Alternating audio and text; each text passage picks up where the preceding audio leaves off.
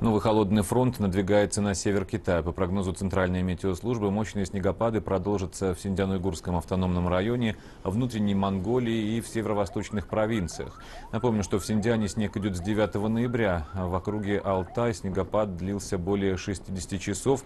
Температура упала до 20 градусов ниже нуля, местами до минус 30 градусов. Глубина выпавшего снега составила от 60 сантиметров до метра.